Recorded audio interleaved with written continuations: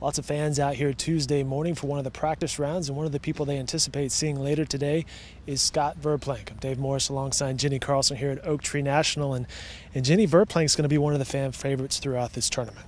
He definitely is. And, and if folks want to get on his good side on Wednesday during the practice day, sing happy birthday to him. Scott Verplank turning 50, which makes him eligible for this Champions Tour. And uh, I got to think he's a favorite to, to possibly win out here. His home course, uh, he's a younger guy on this tour, and I think he does have a great chance to win. Scott Verplank addressed the media this afternoon.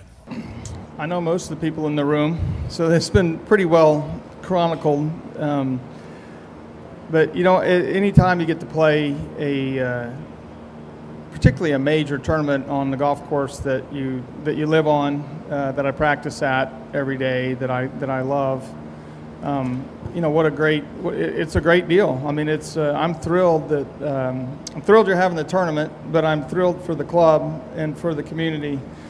Um, Oak Tree has never been better than it is right now. The conditions are uh, best I've I, the only time I can remember them being close to this were the, was the 1984 U.S. Amateur. So the last time the USGA was here. Y'all, you guys must know what you're doing on getting the place in good shape because uh, the golf course is perfect. So um, I'm very proud of that, and I, I, really just want all the guys that are playing uh, to like the golf course and, and you know, just appreciate what a great place we have. Uh, I am a little concerned this week. I've never been here. I've never. This is the first time I've set foot on this property. Um, I'm going to have to kind of learn this golf course really fast. I'm going to play this afternoon a practice round. I'm going to play in the morning. So I've got 36 holes to try to figure this out, uh, which is not, you know, uh, that's. I was able to do it at Omaha. Hopefully, we can figure it out and get a good game plan, good course management, uh, and hopefully, my ball striking will be allow me to, to hit it to where I need to hit it and uh, go out there and try to defend the title. I, I, think this golf course just sets up for a lot of uh, shaping of the ball off the tee, and, and you really better be able to control your distance off the tee. I think that's probably the biggest thing. I got up on the 10th hole yesterday and hit a nice little cut three wood down there, and it was literally one foot from not the water, but going into the into the rough straight straight through. So the, the speed of the fairways they're they're very firm and, and they're in such great condition condition and low cut that um, that's going to be a little bit of a challenge, especially to, to, gauge the wind, to gauge the height of the tee shot you want. Um, there's going to be a lot of thought. It's just not going to get up, tee it up this high, and let it rip and chase it down and hit it again. I mean, you're really going to have to maneuver your ball, and uh, uh, you're going to have Sunday. You're going to have a uh, worthy champion, whoever that might be. No, I think that if we have any party, it'll be next week.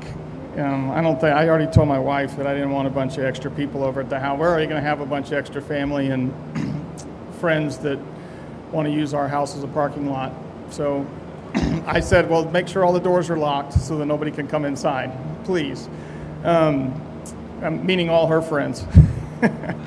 um, no, I, yeah, you know, I, I, guess, yeah, last night I was at like 10 o'clock, I was sitting in my office opening mail because I'd been gone all day. And, uh, opening mail up, and I, there's plain looking envelope. There it is. Open it up, and it's an AARP membership application. I went, oh my gosh.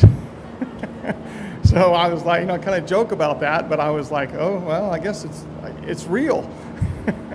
so we'll see. I didn't fill it out yet, though. Okay. it's pretty cool, Jenni, walking around here, seeing these names that you've seen on the TV forever. We saw Gil, uh, Hale Irwin tee it up just a second ago and smack one right down the fairway. And I was tempted to say, get in the hole and, and be that guy. But, but there are other big names out here as well. I'm glad you didn't, by the way. But yeah, these guys play a boring brand of golf. They hit it down the middle all the time. I don't understand how, how this works. I don't play that way at all. But Gil Morgan, I think, is a guy when you talk about sort of those uh, names and faces we've seen for a long time. I think he's a guy that's going to be a sentimental favorite, even amongst the golfers who call Oak Tree home. I think they would like to see Gil make a run at winning this U.S. Senior uh, Open because his career is kind of winding down. But as we talked earlier, Scott Verplank, a young guy, a guy that could potentially make a run, seems like the of the Oak Tree gang, probably he's got as good a shot as any to win this thing.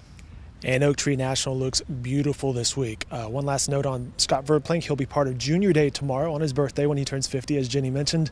Uh, I believe there will be an event at 2 p.m. Scott Verplank and Desmond Mason. Hey, more coverage from Oak Tree National every day in the Oklahoman and online at newsok.com.